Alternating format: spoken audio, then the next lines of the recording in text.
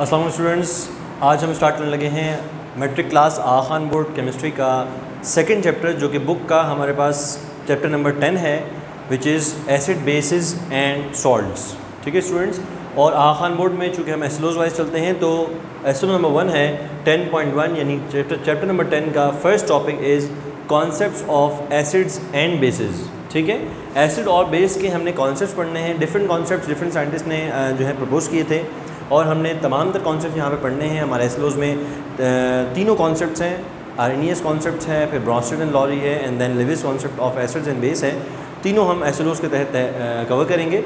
सबसे पहला एसलो हमारा यानी topic number one which is concept of acids and base का sub topic number one ten point one point one is exemplify Arrhenius concept of acid and base यानी हमने Arrhenius के मुताबिक acid क्या होता है और बेस क्या होता है, हम आपको आज ये बताएँगे सबसे पहले।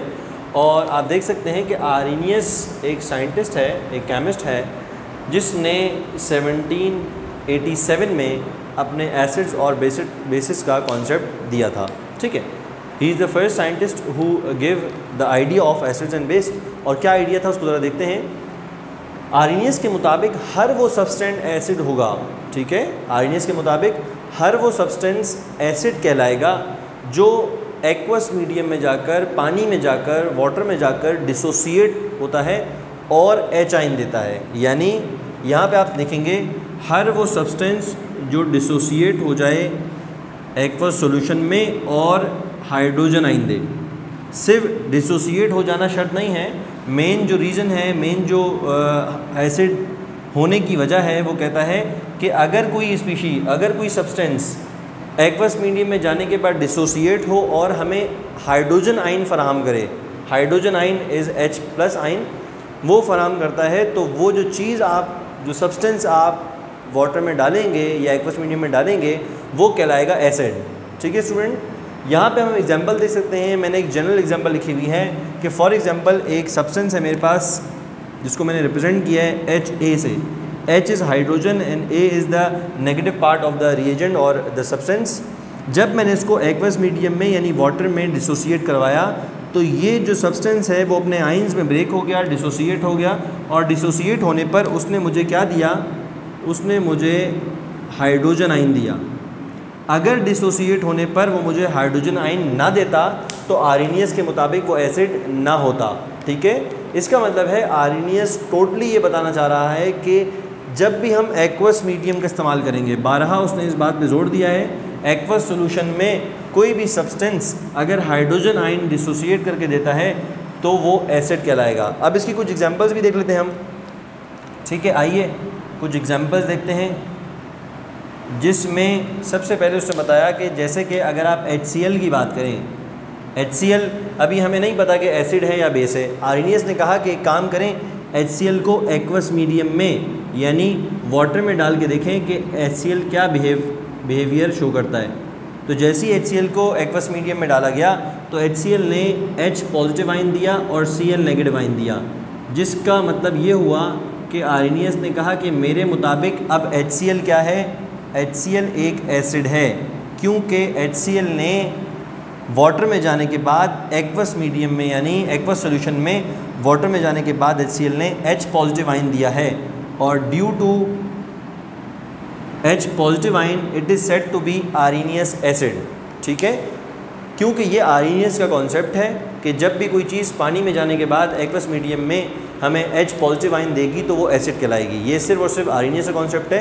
तो अगर आपसे एग्ज़ाम में पूछा जाएगा कि for example if you dissociate H C L in water and it gives hydrogen ion H positive ion तो उसे कौन सा एसिड कहा जाएगा? तो इस कॉन्सेप्ट के हिसाब से इसे हमारे पास आरिनियस एसिड कहा जाएगा। हालाँकि एच सी एल को हम ब्रॉन्स्टेड लॉरी एसिड भी कह सकते हैं, ठीक है? लेकिन जो कॉन्सेप्ट मैं यहाँ आपको बताना जा रहा हूँ कि कॉन्सेप्ट ये था उसका सिर्फ़ कि एक्वस मीडियम में। यानी जब भी बात एक्वस मीडियम की आ जाएगी, कि एक्वस सोल्यूशन की आ जाएगी तो हम इसको याद करेंगे, हम हमेशा आरिनियस को याद करेंगे। आइए चलते हैं बेस की तरफ़। इस तरह बहुत सारी एग्ज़ाम्पल हैं let's take another example H two S O four हमें नहीं पता इस वक्त कि एसिड है बेस है, लेकिन आरिनियस ने कहा कि इसे अगर आप एक्वस मीडियम में, यानी वाटर में डिसोसिएट करवाएँगे तो अगर ये आपको H पॉजिटिव आइन दे दे तो इसका मतलब है ये एसिड है, और अगर एच आइन ना दे तो ये एसिड नहीं कहलाएगा। ठीक है? तो आरएनएस के मुताबिक क्या हुआ? H two S O four भी हमारे पास एक एसिड निकला। क्योंकि H two S O four ने वाटर में जाने के बाद एच आइन आपको डिसोसिएट करके दिए हैं, लिहाजा H two S O four को भी आरएनएस ने एसिड करार दिया। इसी तरह एच एन ओ थ्री है नाइट्रिक एसिड है फॉस्फोरिक एसिड है एसिडिक एसिड है। ये तमाम के तमाम तर एसिड पानी में जाने के बाद एच पॉजिटिव आइन देते हैं। लिहाजा इन चारों के चारों या पाँच एसिड जिसके नाम मैंने लिए आपके सामने, इन सबको हम आरिनियस एसिड कह सकते हैं, ठीक है? चाहे वो एच सी एल हो एच हो, यानी नाइट्रिक एसिड हो हाइड्रोक्लोरिक एसिड हो सल्फ्यूरिक एसिड हो फॉस्फोरिक एसिड हो, और आपके पास एसिडिक एसिड हो, ठीक है?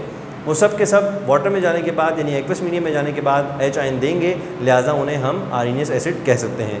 आइए अब चलते हैं बेस की तरफ़। आर्नियस ने ही बेस का कॉन्सेप्ट दिया और कहा कि हर वो चीज़, हर वो सब्सटेंस हर वो सब्सटेंस जो डिसोसिएट हो जाए एक्वस सॉल्यूशन में सेम डेफिनेशन हर वो सब्सटेंस जो डिसोसिएट हो जाए एक्वस सब्सटेंस में हाइड्रोजन आइन देगा तो वो एसिड कहलाएगा, लेकिन अगर हाइड्रोक्सिल आइन देगा हाइड्रोक्सिल आइन is O H negative ion ठीक है? उसने कहा, हर वो चीज़ जो हाइड्रोक्सिल आइन देगी, वो बेस कहलाएगी और हर वो चीज़ जो एच आइन देगी एक्वस मीडियम में, वो एसिड कहलाएगी. तो आइए देखते हैं इसकी जनरल इक्वेशन मैंने आपके सामने बनाई है।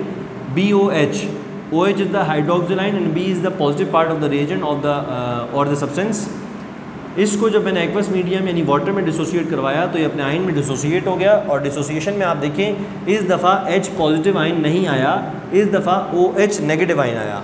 और जब आपके पास हाइड्रोक्सिल आइन कभी भी किसी भी सब्सटेंस ने डिसोसिएशन पर वाटर में डिसोसिएशन पे एक्वस मीडियम में डिसोसिएशन पर अगर किसी सब्सटेंस ने ओ एच आइन दे दिया तो आप कहेंगे ये जो सब्सटेंस है दिस इज़ कॉल्ड बेस ठीक है स्टूडेंट्स आइए कुछ एग्जांपल लेते हैं इसके लिए भी हम।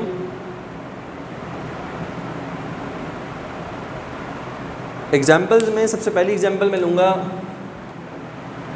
N A O H sodium hydroxide. अगर सोडियम हाइड्रोक्साइड को मैं एक्वस मीडियम में रखूँ, यानी अगर सोडियम हाइड्रोक्साइड को मैं वाटर में डाल दूँगा तो सोडियम हाइड्रोक्साइड डिसोसिएट हो जाएगा। किसमें डिसोसिएट हो जाएगा? एनए पॉजिटिव और ओ OH नेगेटिव तो आप ये देखेंगे कि सर, ये जो है हमारे पास एक सब्सटेंस था जिसे हम नहीं जानते थे कि ये बेस था या एसिड था। लेकिन अपॉन डिसोसिएशन इन वाटर जब मैंने इसे एक्वस मीडियम में डाला तो इसने क्या शो किया? वो बिहेवियर शो किया जो हमें आरिनियस ने बताया था और आरिनियस ने ये बताया था कि अगर कोई स्पीशी अगर कोई सब्सटेंस आपको ओ एच नेगेटिव आइन यानी हाइड्रोक्सिल आइन दे रहा है वाटर में जाने के बाद डिसोसिएट होने के बाद, अगर आपको कोई हाइड्रोक्सिल आइन दे रहा है तो अल्टीमेटली वो बेस कहलाएगा। आरिनियस बेस का कॉन्सेप्ट ये था। ठीक है? इसी तरीके से मैं दूसरी एग्जांपल लेता हूँ। फॉर एग्ज़ाम्पल मेरे पास है कैल्शियम हाइड्रोक्साइड ठीक है?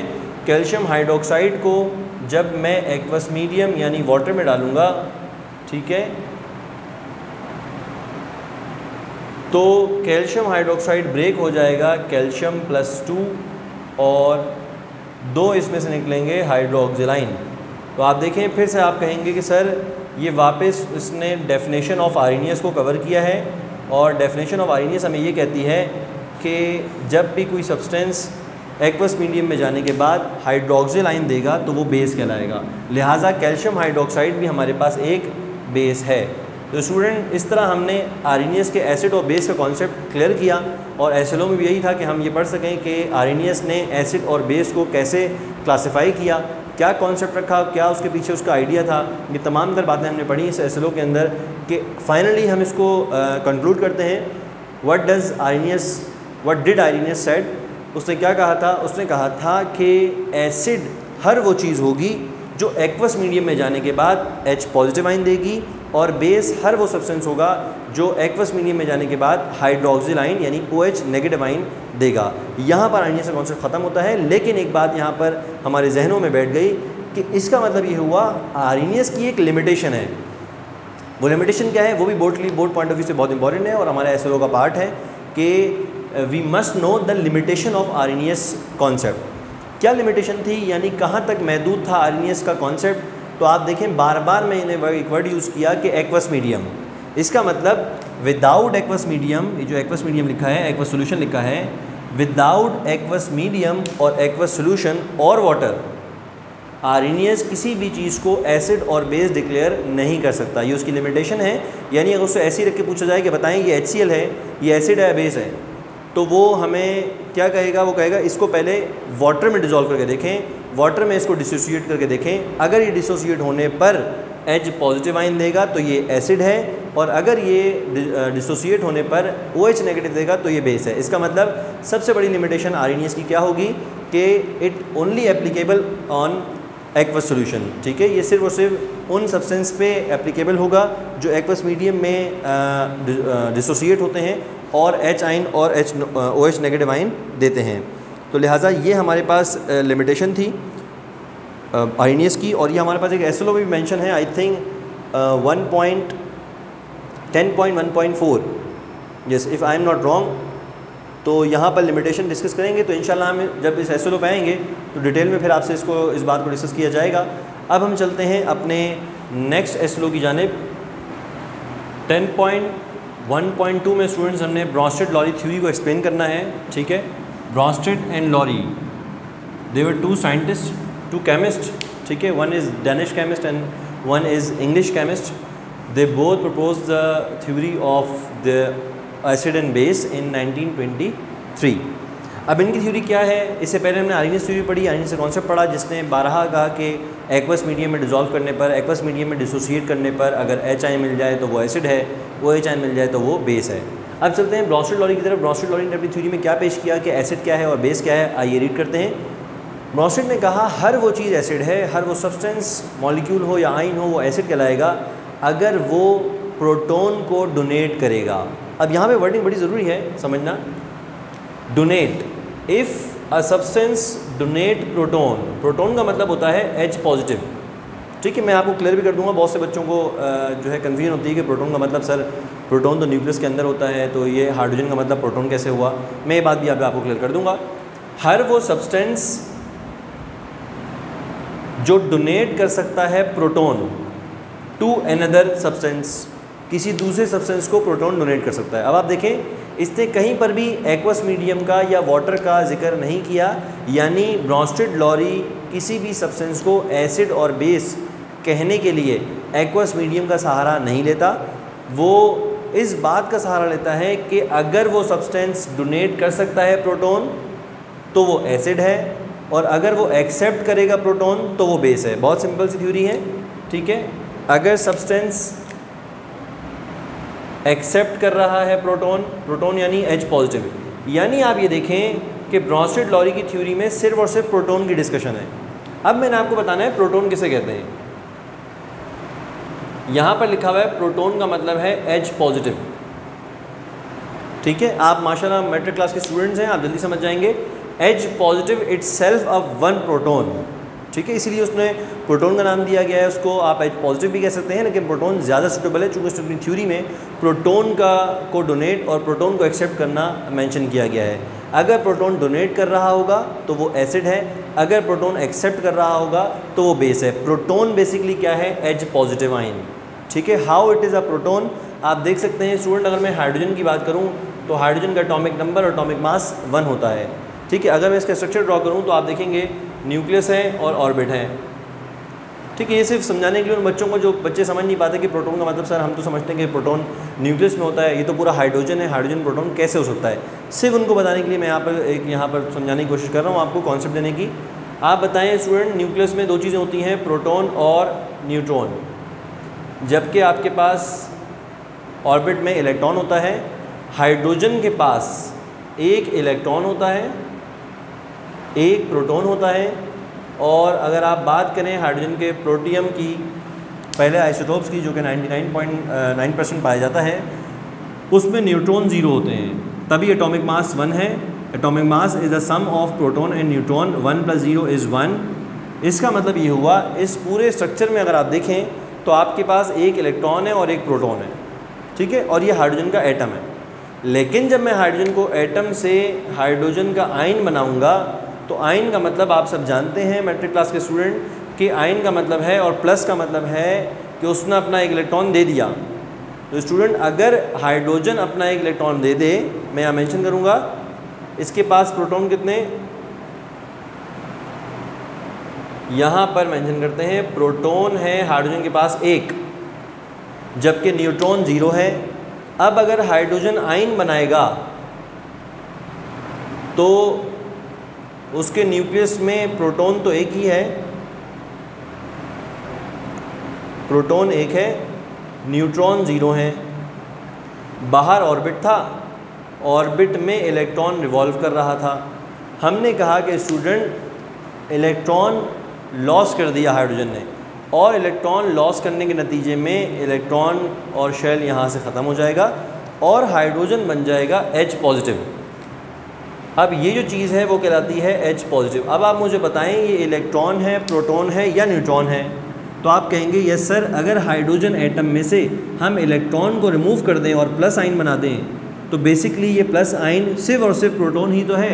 लिहाजा ब्रॉन्स्टेड लॉरी ने अपनी थ्योरी में इसको एच पॉजिटिव आइन को प्रोटॉन कहा है, कि ये एक प्रोटॉन होता है, क्योंकि हाइड्रोजन के प्लस आइन के अंदर एच पॉजिटिव आइन के अंदर ना कोई इलेक्ट्रॉन होता है और ना कोई न्यूट्रॉन होता है तो एक ही चीज़ होती है उसके अंदर और वो होता है single proton therefore we can say that H positive is a proton इस तरह हम एच पॉजिटिव को प्रोटोन कह सकते हैं और यहाँ पर मेंशन ऑलरेडी किया हुआ है कि अगर आप कोई सब्सटेंस प्रोटोन को डोनेट करे, यानी इस प्रोटोन को डोनेट कर दे और इन शॉर्ट एच पॉजिटिव दे दे किसी दूसरे सब्सटेंस को टू अनदर सब्सटेंस तो वो डोनर जो है, जो डोनेट कर रहा है, वो एसिड कहलाएगा। और जिसको डोनेट कर रहा है वो, यानी जो बेस होगा, वो एक्सेप्ट करेगा।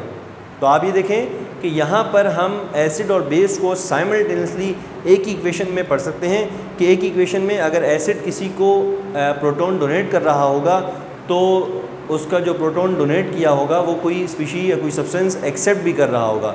लिहाजा आइए अब इसकी एग्ज़ाम्पल पे चलते हैं। प्रोटोन आपको मैं समझा चुका हूँ कि प्रोटोन किसे कहते हैं। अब हम इसकी एग्जाम्पल्स पे जाएँगे और एग्ज़ाम्पल के थ्रू आपको बताएँगे कि कैसे कोई सब्सटेंस एसिड कहलाएगा ब्रॉन्स्टेड लॉरी और बेस कहलाएगा। तो आइए देखते हैं। मैंने लिया है अपने पास एच मैं नहीं जानता ये एसिड है बेस है, और मैंने लिए अमोनिया मैं ये भी नहीं जानता कि अमोनिया एसिड है या बेस ठीक है? अब मैंने क्या करना है? इन दोनों का रिएक्शन करवाना है। और जैसे ही रिएक्शन होगा तो आप देखें कि H C L N H three को एच पॉजिटिव दे देगा और ख़ुद कन्वर्ट हो जाएगा सी एल नेगेटिव में। तो स्टूडेंट यहाँ पे बात समझनी है आपने। एच सी एल यहाँ पर एच सी एल था, वहाँ जाके क्या बन गया? सी एल इसका मतलब ये हुआ स्टूडेंट कि एल में एच पॉजिटिव एल नेगेटिव था। एल ने अपने पास एल नेगेटिव रखा और एच पॉजिटिव डोनेट कर दिया। तो आप देखें किस को डोनेट किया? एच पॉजिटिव डोनेट किया अमोनिया को।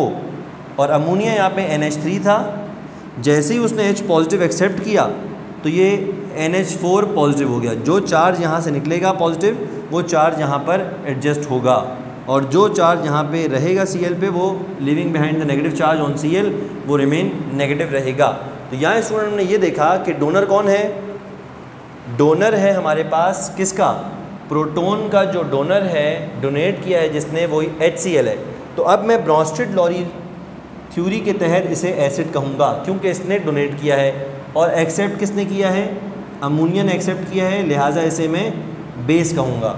ठीक है स्टूडेंट क्योंकि अमोनिया ने एक्सेप्ट किया है किसको? प्रोटोन को।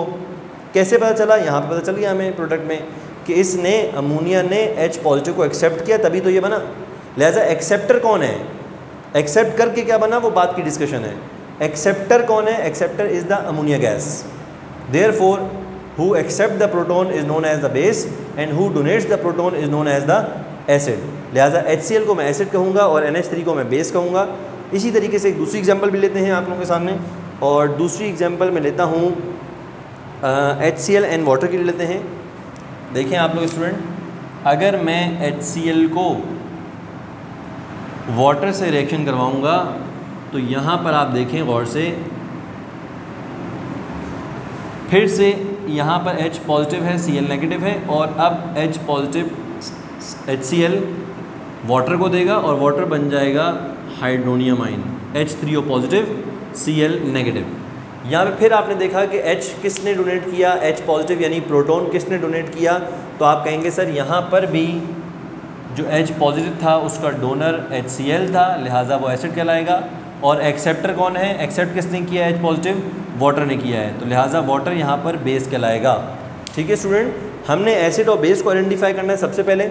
और एसिड और बेस हम आइडेंटिफाई कर चुके हैं। अगर कोई आपसे पूछेगा कि what is Bronsted Lowry acid and base तो आप अब उसे बता सकेंगे कि सर ब्रॉन्स्टेड लॉरी एसिड वो होते हैं तमाम सब्सटेंस जो प्रोटोन को डोनेट करते हैं और बेस वो होती है ब्रॉन्स्टेड लॉरी जो प्रोटोन को एक्सेप्ट करती है। एग्ज़ाम्पल में आपसे पूछा जाएगा तो आप बेस्ट एग्ज़ाम्पल आपके सामने मैंने यहाँ मैंशन कर दी हैं। एच को अब अमोनिया सिलेक्शन करवाएँ तो एच अपना प्रोटोन डोनेट कर देगा अमोनिया को। लिहाजा H is the donor it is said to be acid and ammonia is the acceptor therefore we can say it a base ठीक है? अब जाते हैं कुछ इसमें और बातें बात बतानी है आपको मैंने। वो ये है स्टूडेंट कि जब एसिड अपना एच पॉजिटिव आइन यानी अपना प्रोटोन डोनेट कर देता है तो जो रिमेनिंग ऑफ़ एसिड होता है रिमेनिंग ऑफ़ एसिड मतलब जो बच जाता है एसिड में से। एसिड क्या है? एच एसिड का जो रिमेनिंग स्पीशी है, जो बच जाता है, उसे हम कहते हैं कॉन्जुगेट बेस याद रखिएगा स्टूडेंट ये कहलाएगा हमारे पास, मैं यहाँ पे लिख रहा हूँ कॉन्जुगेट बेस इसी तरह बेस जब यहाँ से प्रोटोन को एक्सेप्ट करेगा बेस जब प्रोटोन को एक्सेप्ट करेगा एक्सेप्ट करने के बाद जो वो बन जाएगा रिमेनिंग जो रिमेन रह जाएगा बेस का, वो कहलाता है कॉन्जुगेट एसिड कॉन्जुगेट एसिड ठीक है स्टूडेंट इसी तरह वहाँ पर एग्ज़ाम्पल देख लें आप लोग। हर वो चीज़ मैं इसकी डेफिनेशन भी यहाँ मेंशन कर दूँगा कि कॉन्जुगेट एसिड और कॉन्जुगेट बेस किसे कहते हैं, ताकि आपको आसानी हो जाए पढ़, पढ़ने में। एसिड का रिमेन यानी एसिड जब प्रोटोन को डोनेट कर देगा तो जो बच जाएगा वो क्या कहलाएगा? कॉन्जुगेट बेस इसी तरह बेस जब प्रोटोन को एक्सेप्ट करेगा तो जो प्रोडक्ट में रिमेनिंग आएगा, वो कहलाएगा कॉन्जुगेट एसिड ठीक है स्टूडेंट अब मैं यहाँ पर आपके सामने कॉन्जुगेट एसिड और कॉन्जुगेट बेस की डेफिनेशन भी लिख देता हूँ, ताकि आपको आसानी हो जाए। तो ये रही स्टूडेंट आपके सामने डेफिनेशन कॉन्जुगेट एसिड और कॉन्जुगेट बेस की। आप देख सकते हैं कॉन्जुगेट एसिड कॉन्जुगेट एसिड क्या होता है? Is a species formed by accepting a proton हर वो स्पीशी जो एक्सेप्ट करने के बाद प्रोटोन एक्सेप्ट करने के बाद बाय अ बेस बेस जब प्रोटोन एक्सेप्ट कर लेती है, उसके नतीजे में जो चीज़ बनती है, वो क्या कहलाती है? आपके पास कॉन्जुगेट एसिड कहलाता है। याद रखिएगा बेस हमेशा कॉन्जुगेट एसिड बनाएगा एसिड हमेशा कॉन्जुगेट बेस बनाएगा। ठीक है, यहाँ मेंशन है क्लियरली कॉन्जुगेट बेस क्या चीज़ है? Conjugate base is a species formed by कैसे फॉर्म की गई है? फॉर्म बाय डोनेटिंग ये तब बना है जब किसने डोनेट किया है? एसिड ने। Donating proton by an acid और ये है accepting proton by a base जब इस एसिड ने डोनेट किया है प्रोटोन उसके नतीजे में जो बना है जो स्पीशी आपके सामने आई है वो आई है कॉन्जुगेट बेस और बेस ने जब प्रोटोन को एक्सेप्ट किया है by accepting a proton by a base the species is form is known as conjugate acid अब आपका सवाल ये होगा या तमाम स्टूडेंट का सवाल ये हो सकता है कि सर एसिड से बनने वाले को कॉन्जुगेट बेस क्यों कह रहे हैं? और बेस से बनने वाले को कॉन्जुगेट एसिड क्यों कह, कहा जा रहा है? तो आप देखें, ब्रॉन्स्टेड लॉरी का जो कॉन्सेप्ट था, वो सिंपल था। अगर मैं आपसे एक लाइन में पूछूँ तो आप ही कहेंगे proton acceptor is base proton donor is acid मैं यहाँ लिख भी देता हूँ। Proton donor acid proton acceptor base ये दो बातें फाइनली मैं यहाँ पर लेके आया हूँ। ये ब्रॉन्स्टेड लॉरी का कॉन्सेप्ट है। ठीक है student H donor is acid H sorry H negative दिया मैंने यहाँ पर। Proton donor is acid proton acceptor is base ये बात क्लियर है? चलें। अब चूँकि हम पिछले चैप्टर के अंदर चैप्टर नाइन में केमिकल इक्विलिब्रियम पढ़ के आ चुके हैं, जिसमें हमें पता है एक रिवर्सिबल रिएक्शन में रिएक्टेंट मिल के प्रोडक्ट बनाते हैं प्रोडक्ट मिल के फिर रिएक्टेंट बनाता है। तो स्टूडेंट आइए उसको डिस्कस करते हैं प्रीवियस कॉन्सेप्ट को। जब ये दो रिएक्टेंट मिलेंगे तो प्रोडक्ट बनेगा। इन दो रिएक्टेंट के मिलने में, गौर से बात सुनिएगा, मैं ब्रॉन्स्टेड लॉरी को मैच करूँगा। इन दो प्रोडक्ट के आपस में रिएक्ट करने में प्रोटोन डोनर कौन है? एच इसीलिए इसको एसिड कह दिया आँखें बंद करके। इन दो के रिएक्ट करने में प्रोटोन एक्सेप्टर कौन है?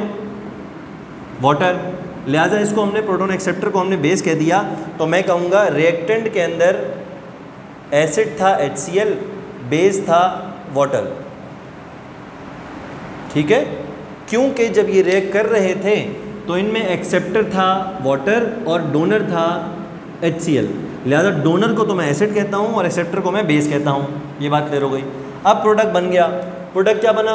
एक सी एल नेगेटिव बना और एक एच थ्री ओ पॉजिटिव बना। अब अगर आपसे पूछा जाए कि बेटा ये रिवर्सिबल रिएक्शन है, इसका बैकवर्ड डायरेक्शन भी तो फॉलो करेगा। अगर बैकवर्ड डायरेक्शन में रिएक्ट कौन करेगा? अभी इस पे ना जाएँ कि कॉन्जुगेट एसिड है कॉन्जुगेट बेस है, अभी आप देखें, ये दो रिएक्ट करेंगे। ये दो रिएक्टिंग स्पीशीज़ हैं। जब ये दो रिएक्ट करेंगे तो बच्चों मुझे बताएँ, इनमें से कौन एच एक्सेप्ट करेगा एच पॉजिटिव और कौन एच पॉजिटिव डोनेट करेगा? तो आप कहेंगे, सर, जब ये दोनों वापस से यहाँ जा रहे होंगे ना तो सी एल नेगेटिव इससे एक्सेप्ट करेगा। गौर से बात समझना, जब रिवर्स रिएक्शन हो रहा होगा तो हाइड्रोनियम आइन से एच पॉजिटिव कौन लेगा? क्लोरीन लेगा। तो हम क्या कहते हैं, जो प्रोटोन लेता है, क्योंकि वापस भी तो जाएगा ये, रिवर्सिबल रिएक्शन है। जब हाइड्रोनियम आइन प्रोटोन वापस देगा क्लोरीन को तो डोनर कौन बना? हाइड्रोनियम आइन और डोनर को हम क्या कहते हैं? डोनर को हम एसिड कहते हैं। लिहाजा आप क्या कहेंगे कि सर, प्रोडक्ट के अंदर जो एसिड है ना, वो ये है। लिहाजा मैंने इसको कॉन्जुगेट एसिड कहा है। और प्रोडक्ट में जब ये वापस रिएक्शन जा रहा होगा रिवर्सिबल रिएक्शन जा रहा होगा तो Cl जो है वो प्रोटोन को एक्सेप्ट करेगा, तभी तो एच बनेगा। जब Cl एक्सेप्टर है तो मैं क्या कहूँगा? एक्सेप्टर क्या कहलाता है? प्रोटोन एक्सेप्टर कहलाता है बेस लिहाजा सी एल नेगेटिव क्या होगा? बेस इसीलिए मैं इसे कहूँगा कॉन्जुगेट बेस हर एसिड और बेस को जब आप रिएक्शन करवाते हो तो उसके दो पेयर बनते हैं कॉन्जुगेट एसिड और कॉन्जुगेट बेस के। तो ये बात आप समझ लें, इसको अपने पास लिख लें मेंशन कर लें कि ब्रॉन्स्टेड लॉरी के अंदर जब भी यहाँ पर एसिड डोनेट करेगा और बेस एक्सेप्ट करेगा, उसके नतीजे में जो दो रिज़ल्ट बनेंगे, वो कॉन्जुगेट एसिड और कॉन्जुगेट बेस होगा। जो रिमेनिंग ऑफ़ एसिड होगा, वो कॉन्जुगेट बेस होगा, ठीक है? और जो रिमेनिंग ऑफ़ बेस होगा, यानी after accepting the proton the remaining is conjugate acid acid this is how we cover our two concepts और जिसमें हमने अपना आर्नियस कॉन्सेप्ट भी क्लियर कवर कर लिया और हमने ब्रॉन्स्टेड लॉरी थ्योरी को भी डिटेल में पढ़ लिया है बुक के अतबार से भी और अपने एसएलओ के अतबार से भी। अब आप चाहें तो इसको बुक रीड करके अपने तमाम तर जो क्यूरीज़ हैं वो हल कर सकते हैं अगर फिर भी किसी बच्चे को कोई सवाल समझ में ना आए या कोई कॉन्सेप्ट उनका रिमेनिंग रह जाए तो काइंडली हमें कमेंट बॉक्स में ज़रूर मेंशन करें ताकि हम आपके उन कॉन्सेप्ट्स को दूर करने के लिए एक दोबारा नई वीडियो से आएँ। ठीक है स्टूडेंट्स यहाँ आज की क्लास हम वाइंड अप करेंगे, जिसमें हमने 10.1.2 एंड 10.1.3 पढ़ लिया है। नेक्स्ट क्लास में इंशाल्लाह आपको एसिड बेस का last concept which is Lewis concept पढ़ाएँगे और इनकी लिमिटेशन भी डिस्कस करेंगे। तब तक के लिए स्टूडेंट्स इजाज़त दें अल्लाह हाफिज़।